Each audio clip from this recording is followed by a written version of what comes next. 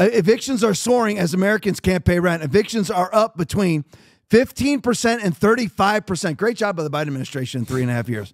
Up 15 to 35% in nearly a dozen major cities, while one estimate of overdue rent is up between, get ready for this number, 322%. Wow. Imagine, and 559%. Imagine the galactic levels of ineptitude you have to be to reach these to reach these statistics.